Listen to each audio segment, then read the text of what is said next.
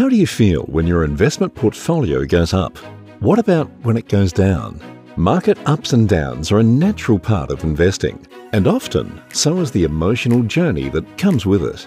But sometimes it pays to zoom out to look at the bigger picture. Why?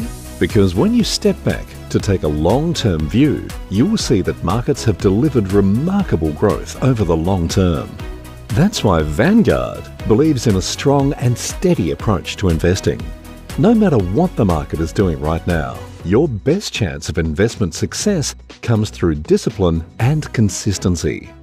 To get a better understanding of what we mean, let's look at Vanguard's annual index chart, which tracks the return of different types of asset classes over the past 30 years.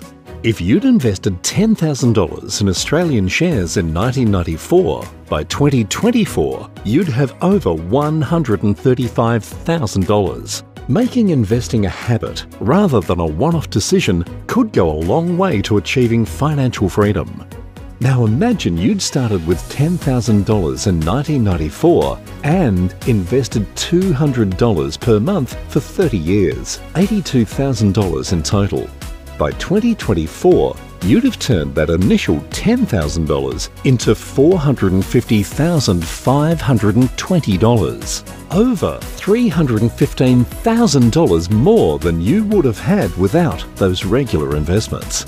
So, what three things can you start doing to keep your investing as strong and steady as possible?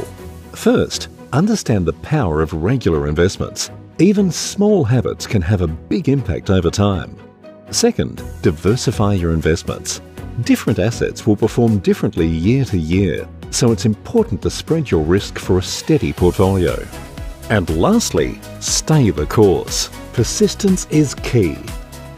Interested in learning more about how taking a long term view allows you to face the market ups and downs with a greater peace of mind? Visit the Index Chart Hub on our website or speak to your financial advisor.